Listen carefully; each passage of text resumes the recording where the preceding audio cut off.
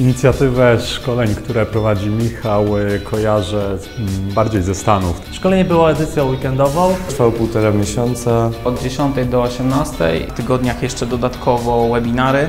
Po mm, okresie na przykład y, miesięcznego czy dwumiesięcznego szkolenia mm, osoba, która bierze w nim udział, rzeczywiście jest w stanie już coś zaprogramować i samemu tworzyć podstawowe aplikacje internetowe. Atmosfera na szkoleniu jest, nie jest taka formalna, jest luźna, jest bardzo dobrze. Cały kurs przebiegał w przyjaznej, przyjacielskiej atmosferze, było bardzo serdecznie.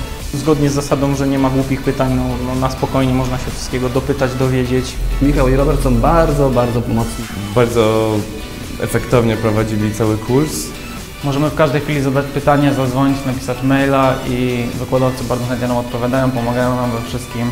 Bardzo ważne są targi, na które przychodzą firmy i same się prezentują. Później jest duży wybór. Dużo młodych ludzi może mm, zdobyć nowy, fajny zawód, y, który mm, jest doskonale płatny i gdzie mm, nie brakuje pracy dla absolwentów.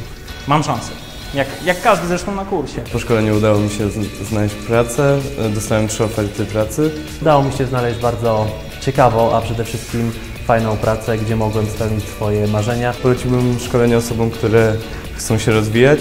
No i jakbym dwa miesiące temu potrafił to, co potrafię zrobić teraz, to, to myślę, że, że bardzo bym się zdziwił, jakby mi ktoś to powiedział. Studiuję informatykę, ale niestety studia nie dają mi możliwości nauczenia się tych nowych technologii. Ten kurs dał mi więcej niż cały rok studiów.